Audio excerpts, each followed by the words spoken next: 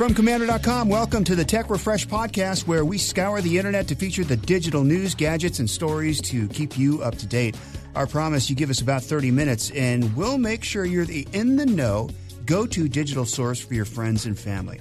After an exhaustive nationwide search to find just the right digitally savvy show host, well, they gave up, and you got me. I'm Mike James, along with the Komando content queen. Welcome, Allie Seligman. Hello, Mike. And uh, of course, our news director is Ben Obi Wan Bradley back again. Hey, Mike. And we have a ton of stuff to get. This is going to be a great show. Allie's got, there's a problem with your account on Amazon. Allie's got that a little bit later on. We've got brand new or not true. Allie's got the products today, and Ben and I are guessing. Also, our, our deep dive today is uh, photo organization. How do you organize your photos? What's the easiest way to do it? We're going to start with the news, and Google Play Store has pulled a popular Android app. Go ahead. Yeah, can you believe it? An Android app has just been removed from the Google Play Store because of malware that can hijack phones. That never happened. I know. You know, it might sound like any other day of the week when they pull one app or, you know, a few hundred apps. But this one actually is pretty bad, and you might even have it on your phone. Uh, this one's called Barcode Scanner, which is a pretty generic name, but it's by a developer called Lavabird. It's been on the Google Play Store for years, and it has more than 10 million downloads. And, well, through all these years, the app seemed legit and worked as a barcode scanner and a QR code reader. Uh, but something changed a couple of months ago.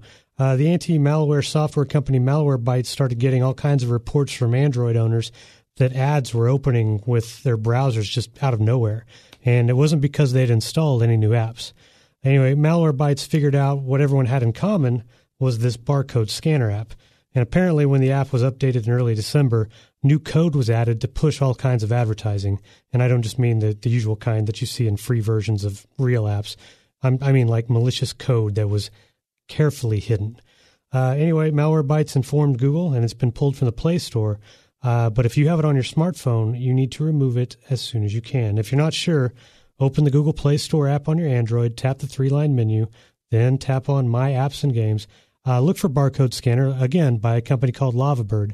And if you see it, tap on it and click on install. And so, is this like a foreign uh, people that were had this, or is this a? Or do you know? I don't know the uh, origin. It's just it's one of those things that it's it's been there for so long, and there's never been any problems with it. It's always had a clean certificate.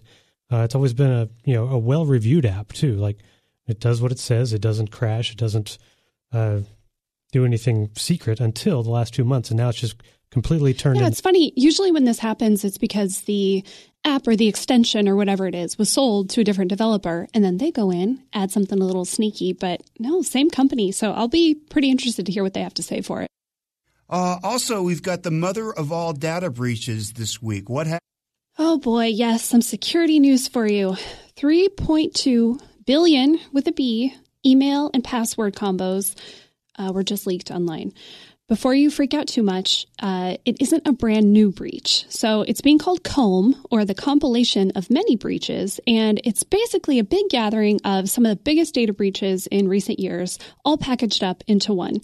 Now, the hack might not be new, but it could uh, put you in some real danger, um, you know, right now. Because this is such a big database, there's a good chance that you uh, and your information are contained in it. So we've said this over and over and over again, but this is where reusing passwords can really get you into trouble. Uh, Netflix was included in this. There was a Netflix data breach. So think of it this way you use your Gmail account and a password to log into Netflix. Okay, you can bet if someone gets that password, they're going to go to your Gmail, check if that same password is there. And if it is, they've just got the, you know, the keys to the whole castle. Think about everything in your inbox. Um, so, you know, this can work with just about any site. They'll go through and, and check um, that login combination and lots of other things. So, friendly reminder use different passwords. Uh, so, to check if you're a part of this one, it's easy. Go to cybernews.com. Then you're going to click tools, and then there is a personal data leak check. If you didn't catch those steps, don't worry. We have it over on komando.com too, a direct link. But uh, put your email address in. You can see if you're part of this. My data is in there. Bummer. I checked Ben's, and somehow he's not. So good job, Ben. Proud of you. Yeah, I want to complain about that for a second because not that not that I want to be in the data breach, but come on, How I've, I've had this email address that she checked since Gmail was in beta in 2004, and you're going to tell me it's not part of this, any breaches? That's, I mean, run the numbers here. but anyway, one other one other note to say though, it's like if you think that, oh well, a hacker's not going to take these credentials and you know just go start trying my information on these other sites. Well, they don't have to. This whole credential stuffing thing, they've got you know bots and other ways that that'll just automatically try your credentials at like all kinds of other sites online, and you know will let these these guys know anytime there's a hit and they successfully crack into another account. So. Well, not just your Gmail, too. I mean, you're talking about if they can have access to your Gmail account, they've got your drives, they've got your Hangouts, they've got your calendar, everything. And then they are getting the 2FA codes for your bank and your other financial accounts. Oh, yeah, yeah that, they could change your password. there you go. Very scary. All right, here's a cautionary here's a cautionary tale about AirPod safety that you probably never even considered. Ben. All right, let me set the stage. Places like Worcester, Massachusetts keep getting hammered with winter weather. Well, a few days ago, a guy named Bradford just spent a late night shoveling snow, and now he's just exhausted. So he goes in, turns on Netflix, and puts in his trusty AirPods so he doesn't wake his sleeping baby. Well, the next morning he gets up and he goes back to shoveling, except now, you know, something's just not right. His chest feels a little off. He goes inside, he tries to drink some water, but it won't go down. So he's like, okay, I got to go get this checked out. Uh, well, doctors take an x ray, and there it was an AirPod stuck in his throat. He had apparently swallowed the AirPod while he slept the night before. I, I mean, can you imagine? Uh, no, as someone who couldn't take pills until I was uh, 22 years old, I cannot fathom swallowing an AirPod. It's almost like an L, yeah. It's uh, well, you know. Anyway, doctors performed an emergency uh, endoscopy and they were able to remove it. Uh, and this guy's going to be just fine. Which what about the AirPod? well, he, the AirPod, uh, not so much. He told the NBC affiliate in Boston that uh, the audio still works, uh, but the microphone is a is a little glitchy now. Yeah. Do you think that's covered under the warranty? And it only makes burping sounds. there you go. Yeah. Now, now, of course, you don't want to leave choking hazards around for the kids, but I mean, you just don't often hear about freak accidents like that happening to to grown-ups. So, you know, moral of the story, just be careful if you fall asleep listening to your AirPods and make sure someone you live with knows the uh, the Heimlich just in case. All right, coming up uh, with photo organization. Everybody's got millions of photos everywhere since we don't have film anymore. They're all on our phones and all the different gadgets. Uh, we're going to be talking about uh, organizing your photos. Also, the scam of the week this week what if you got an, a support call from Amazon telling you there's a problem with your account? Talk about that. And brand new or not true is just ahead from Tech Refresh and Komando.com.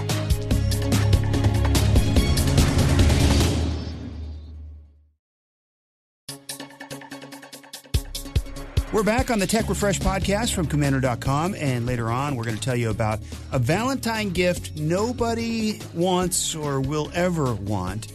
Before we get to brand new or not true, we have a, a quick tip we want to tell you about. Okay, so as we all know, computers don't last forever. You know, on average, people tend to replace them every three to five years. Uh, but what about your old laptop or your desktop computer? Do you do you sell it, recycle it, maybe just stick it in a closet? Thing is, you don't have to. Even if that trusty computer can't be your go to machine anymore, you can actually still put it to use in other ways. Uh, for instance, you can turn it into a dedicated media and streaming center that you connect uh, to your TV via HDMI. You can also turn it into a file server where you store documents and other content. Uh, if you like playing old video games, you can convert an old computer into an emulator uh, that allows you to run classic, long forgotten video games. All you need is special software like RetroArch. Now, at komando.com, you'll find more in depth info about what I just talked about and other suggestions uh, to use those old computers, like repurposing them in other rooms like the kitchen and the garage. Uh, for more ideas, check out our report called Six Smart Things to Do with Your Old Computer. It's time now for America's newest national game show sensation, where you can play and guess is it brand new or not true. Every week, literally thousands of new products, sites, apps, and services are announced in the technology world. Some are destined for greatness, others not so much. Oftentimes, the products sound so crazy, outlandish, and just ridiculous, you sit back and think, what were they thinking? When playing Brand New or Not True, we'll present you, the home listener, with three products, sites, or ideas. It's up to you to find out which two of the three are real and one, of course, then is fake. And we're going to start. Allie's got the products this week. Product number one. Yes. So normally I do go physical product. This week I've got apps. I've got three different apps for you. And of course, they're all real. So, the first one, we're going to start with your smile. There are a ton of super popular apps out there to help you digitally whiten your teeth. But what if you're going for a, a brighter smile actually in real life? Most at home teeth whitening products, the change is really gradual and it can be hard over time to tell if the product is effective. That's why you need Beam. The app prompts you to take photos at whatever pace you want. They recommend weekly so you can see change over time. And it creates collages and side by side comparisons so you can see your teeth get whiter over time. One, this helps you make sure that the product you're using is working, and it's good to actually see your progress and, you know, make sure that you're sticking with it. You can set up reminders to whiten your teeth every night or as often as you like to. You can customize it all, and there are some handy bonus features like a toothbrush timer, and there are dental care tips in there from the American Dental Association. It's free to download on iOS and Android, and you can pay 99 cents to cut out the ads. Okay. Your Smile app, Beam. Go ahead. Product number two. All right, this one is for all the data lovers. We have all these different health and well being metrics stored in our phones, and it can be kind of overwhelming to have to look through all of them and even understand what they mean. Instant solves that with its all in one dashboard. It tracks your screen time, how many times you unlock your phone, your app usage, your workouts, your steps, and other fitness metrics, the time you spend at certain places like home and work. It uses geofences for that, and how uh, the quality of your sleep. You then get weekly reports to help you understand your life and your health a little bit better. All of Instant's data is private and it remains just inside your phone. You can get insights from the app's AI coach, you can set up goals, and it tracks it all in one spot. The app is free to download, again, Android and iOS. But if you want to unlock all the reporting features and set up custom goals, you have to pay five bucks a month. Okay, that seems reasonable. That's the instant and product number three. All right, last up, let's go a little deeper. So, the more often your brain gets positive messages, the better it is at keeping that information. That's the thought behind Hypnopedia. Hypnopedia tracks patterns in your sleep cycle to deliver affirmations when your brain is the most receptive. It syncs with your Apple Watch and it works during the beginning, middle, and end of your sleep cycle. It does three things. First, it plays gentle sleep sounds to help you go to bed. Uh, you can create playlists and save them for later. Then, while you're asleep, it sends you one of 15 pre recorded affirmations around health, happiness, mindfulness, success, whatever you choose. These play at peak times during your sleep when your brain is the most receptive. And then it wakes you up for the day with a smart alarm. So it keeps track of your sleep and makes sure to wake you up at a good time in your sleep cycle so you're not groggy all day long. Uh, you can use this with iPhone 6 and later in any of the Apple Watches. The free version includes all those features, uh, or you can pay $2.99 a month to access an extended library of sleep sounds and even more reporting. And probably swallow or a, a pair of earbuds uh, while you're using it, right? Hopefully, you get an alert, right? It should, yeah, right. It, it, it should. Uh, the Hypnopedia. And how much was that? That one is free to download and then $2.99 for the advanced features. $2.99, just one time, $2.99, not $2.99 a month. It, it is per month. Oh, it is two ninety nine per month. Okay, well, they all seem again pretty reasonable. So good job, Allie, right out of the right out of the bat. Uh, the Your Smile app, taking pictures once a day. That's the product number one. Seems real to me because it's just a camera and, um, you know, just a reminder of how long you want to brush your teeth or whatever you're doing. Uh, the instant track fitness and sleep and goals, and that one was, I believe, only five bucks. Um, it just kind of it's kind of a fitness tracker, as I understand it. Yeah, it's five bucks a month. It's kind of all your metrics in one place, so kind of a dashboard for all of all the stuff your phone tracks. Yeah, there's a million of those out there, and so it would seem real to me. Um, and then also the uh, yeah the earbuds, the hip, Hypnopedia. I think there's people out there that would buy that to kind of subliminally, I don't know, get better or be in a better mood or whatever it is, meditation almost, uh, subliminal meditation while you sleep. I would believe that, but I'm not going to believe this one. So I'm going to say that's the false product. Ben, go ahead. I'm kind of with you on the first one. It sounds at least in the realm of reality. So I'll think that one is real. Now, as far as the third one, the Hypnopedia, that, that sounds, um, you know, so ridiculous that it's probably a curveball and it's going to be real. So I'm going to say that one's real. And I'm going to say the, uh, the second instant it's, it, sounds pretty creepy, pretty invasive. That it it keeps all the data on your phone, but I mean, it tracks how often you open your phone and how your screen time and where you are. So I'm gonna. I don't think people would really like that uh, personally, and so I'm going to say that one. Okay, is fake. Allie. All right, Mike. Hypnopedia. You think it's fake? Subliminal messages, all that. This is a real app, and it's it's got quite a bit of reviews. Lots of people using it. So who knows if it actually works, but it exists. Right. All right, Ben. I agree with you. Instant sounds a little creepy, right? It tracks all that stuff, and why would you want that? But turns out people do. Instant is also real. oh. Of course it oh. exists. All right. Which leads us to the fake app, Beam, the Smile app. There are lots of dental apps out there, but not this one. I made this one up because you know what? I think it sounds pretty handy. It is hard to see those little changes over time. So I think I've got my next idea. There you go. Good job, Allie. You fooled us both again. I think you did that two weeks ago, too. Is that right? It's, I believe I did. Doesn't seem. Just put another check mark on there. Okay. I don't hold grudges, but revenge next week. So. All right, that's it for this week's edition of Brand New or Not True. And thanks to Ben and Allie. Up next, we're going to take a deep dive into photo organizations. If you've got photos everywhere on the computer, on the phone, on the tablet, wherever they are, we'll uh, we'll talk about how to get those under control. Later on, the scam of the week about Amazon support calling you. What could it be? Uh, and then a little bit later on, uh, a Valentine's gift nobody wants. It's Tech Refresh from Komando.com.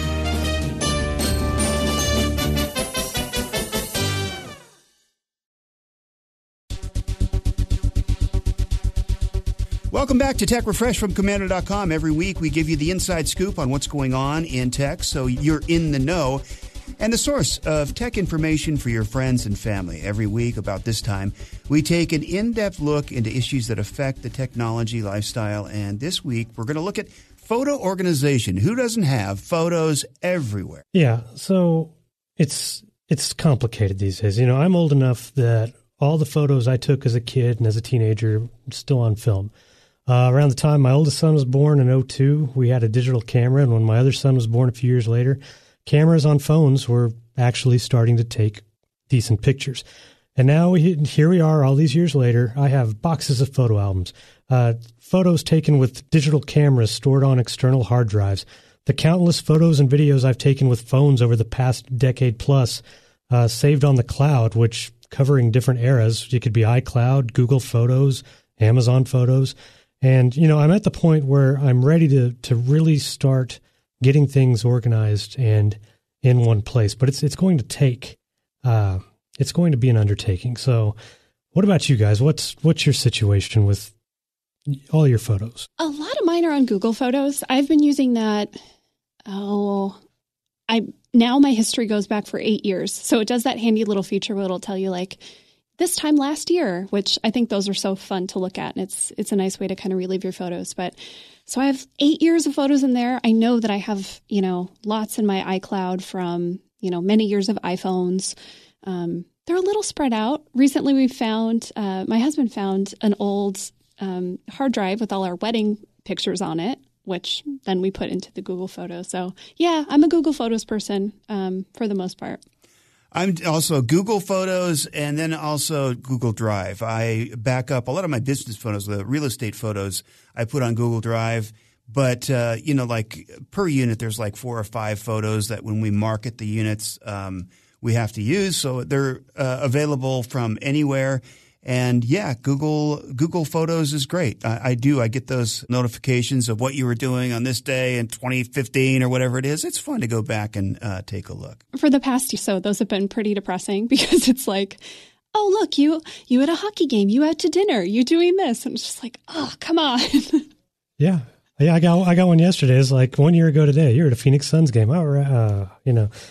Oh, just think about a year from now when you get one. Well, this is you on the couch. This is you in the kitchen. Hey, this look, is you the at backyard the, you at know, your yeah. desk. I kind of, it's funny. I kind of think about taking photos that way now. I mean, you know, when it was film, I think it was more let's take pictures for occasions or to kind of commemorate things.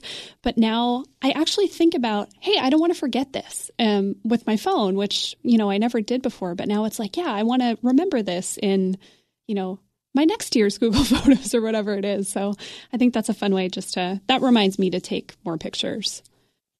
Yeah, it's you know we we're talking about those memory alerts. I mean, Amazon Photos we've we used that for a very long time for current. So I'll get you know look back on your memories and it'll have this day on X number of years, and some of them it's like back to 2007 and you know or what, whatever when you know my kids were tiny or whatever. And it's just like oh man, how much time has passed. But at the same time, you had all these photos being uploaded in different ways from maybe the phones or from these you know your computer. And so you've got duplicates. And that's the other thing that's it's not just consolidating figuring out how to consolidate. It's like you may have duplicate photos all over the place or or, or you know it's we were talking earlier. It's like you know you see something funny you're scrolling through you know instagram facebook and there's a funny meme or something. Oh, i'm going to download that. And you and you come across it like two years later like why did i download that now it's just taking up room it's just Why do I have a screenshot of that? Yeah. Yeah, I have so many just random screenshots and just junk in mind that are that's the stuff that I need to clear out for sure. The other thing I really like about all the cloud storage options is how easy it is to share, um, especially across devices. You know, if you're sharing somebody, if, if you've got an Android and you're sharing with an iPhone, it just condenses your photos in this really awful way. But um, this year for Christmas, I gave my parents a digital photo frame.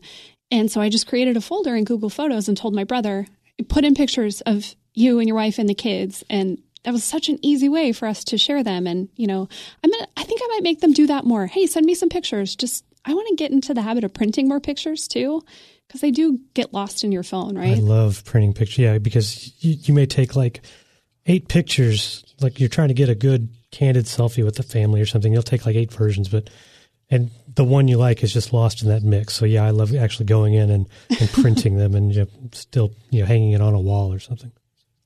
Hey, hey Ben, Yeah. is Amazon Photos part of Amazon Prime, or do you have to pay extra for that? No, that's that's part of Prime. How many gigs do you get, or do you know?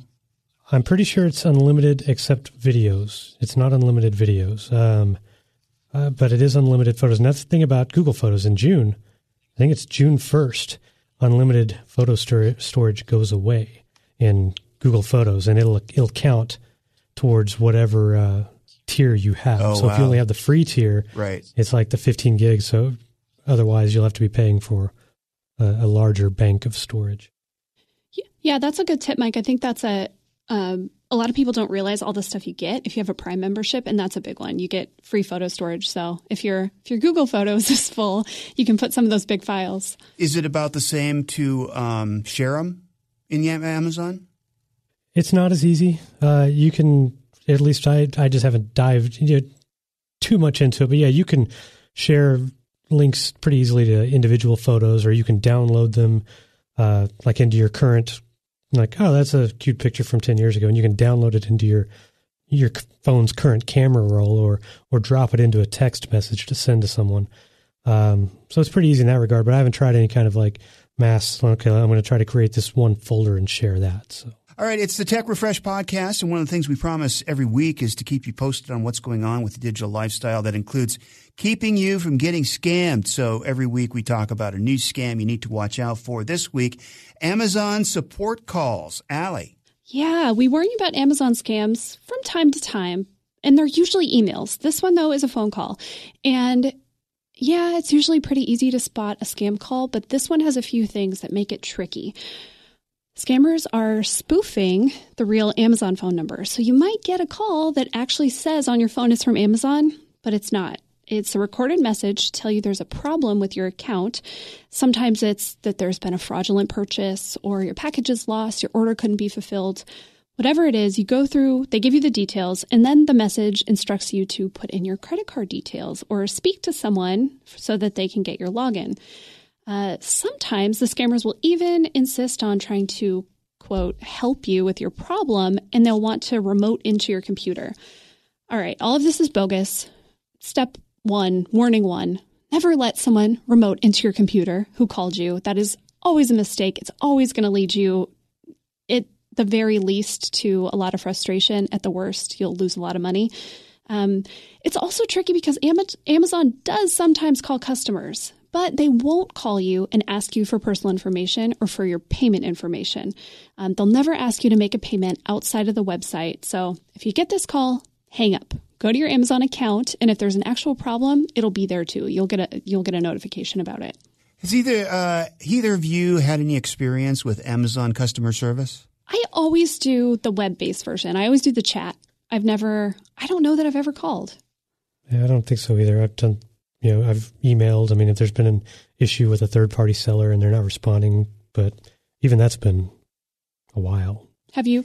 Yeah, I did. I, I called them. As a matter of fact, it was last year during um, when as COVID was kind of starting. It was starting. It was uh, about this time of year, and it was over in China. And I had uh, ordered a watch, and um, apparently, some somewhere around this time of the year, they have a holiday in China.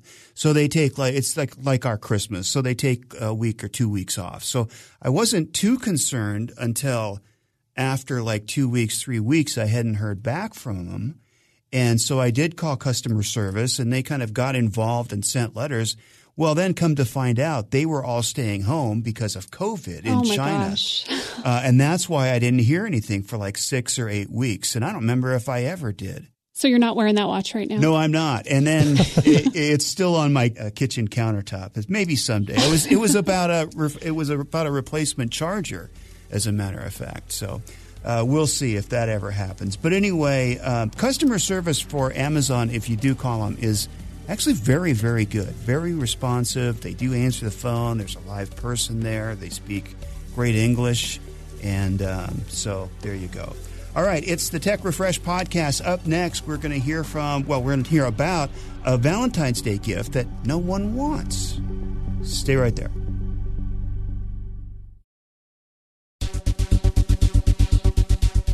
Thanks for listening to the Tech Refresh podcast, heard exclusively on the Tech You Should Know podcast from Komando.com.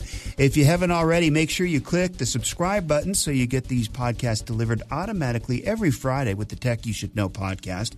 And that also gets you the special podcast this week where we talk about what does your car know about you. So our cars are tracking us, especially smart cars, and uh, we're talking about how they track us and what you need to look out for. Uh, that's again on the Tech You Should Know podcast. And right now we have a special Valentine's gift that mm, maybe we should not get. Yeah. okay, let's let's start with this. Are either of you now or have you ever been Valentine's Day people? I'll go first. I am I'm not. I don't care about Valentine's Day. It's been a while. I mean, uh, my wife and I have been married for coming up on 19 years, so it, it, has been quite a few years since the Valentine's Day gift giving has been a thing. She does every year get me one of mm-hmm. those uh, uh, big Reese's peanut butter hearts for Valentine's Day. Now, Ooh. I will tell you, this is PSA. I learned this many years ago. Don't eat it all in one sitting. just just don't. No, for me, I, I you know I love Valentine's Day. Yeah, special dinner, special gift. Yeah. Aw. Well, here is something to add to your not to do list. Although I don't think you two are in danger of this one. So. A woman named Haley, she posted on TikTok how she wanted to make Valentine's Day really special for her boyfriend. So she decided to give his Xbox a makeover. She filmed herself painting his Xbox uh, she painted it electric blue with fluffy pink clouds and yellow stars. She captioned her video saying that she saw somebody else paint a PS5 and she thought it was really cute, so she wanted to do it for her boyfriend. You can imagine the response. This video has been seen 4.8 million times, and mostly people making fun of her and saying, "No, he's going to hate this. Why would you do this to to his Xbox?" So the video went viral almost 5 million views. And so she thought, well, dang, I have to just show him this now. I can't wait till Valentine's Day. What if he sees it? So she made a follow up video for the reveal. She comes walking to the room, clutching this newly painted console, and her boyfriend's sitting there waiting to open his present. He was speechless. After a few seconds, she said, Do you like it? And he said, uh, it, It's a cute design. and then she asked if he was mad, and he said, I don't know. Which we all know is code for yes. yes, I am. uh, that video also um, like 16,000 comments. Poor Haley. She really messed up this Valentine's Day. I, you know, heart in the right place, but yeah. if you're going to Van Gogh someone's expensive, whatever it is, a computer, a, a gaming console, I mean, at, at, the very least, make sure, you know, try to get a little intel first that they'll. They're, they like the idea or if they like the, the design that you're thinking about. She should go with the Reese's Heart next year. That seems to be a hit. yeah, maybe not viral video type, but sure. If you'd like to comment about the podcast, good, bad, or mostly good, send us an email to podcasts at komando.com. That's podcasts, plural, at komando.com. On behalf of Ben and Allie, I'm Mike. We'll see you next time. And for the latest digital news, articles, anytime, go to komando.com with a K. That's K O M A N D O.